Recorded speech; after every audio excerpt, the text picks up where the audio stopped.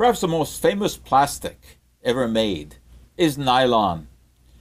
That takes us back to the 1930s when Wallace Carothers, a chemist working for the DuPont company, found that taking two compounds, adipic acid and hexamethylene mix them together, and you got this wonder material called nylon. It was actually introduced to the public in 1939 at the New York World's Fair, where spectators saw the nylon actually being made, and they saw its strength being demonstrated when two ladies took a nylon stocking and used it in a tug of war to show how strong it was. The name originally was No Run because nylon stockings were said to never run. Turned out that that wasn't exactly true. So they played around a little bit and they came up with nylon that just rolls off the tongue. In 1940, on what has been designated as Nylon Day, ladies stood around the block in line in front of Macy's in New York to get their hands on these new materials made from coal and air. Indeed, the two chemicals needed to make nylon come from coal, and nitrogen from the air is used in the formulation. During the Second World War, parachutes were made of nylon. Ropes, it was said to be the fiber that won the war. Well, what was the first material ever introduced that was made of nylon? It wasn't the nylon stocking. Believe it or not, it was the toothbrush.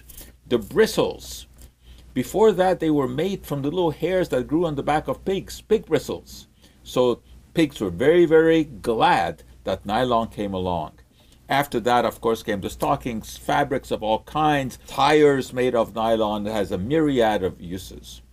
Historically, this item, I just love this because I like to collect little souvenirs of history.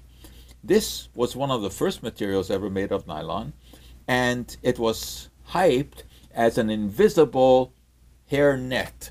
And indeed, it is practically invisible. Here it is. And this was worn over ladies' hair to keep it in place. And before that, there was no such material.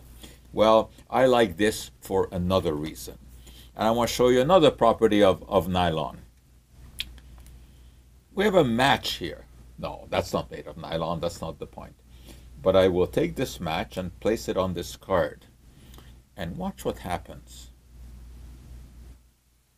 That match appears to float.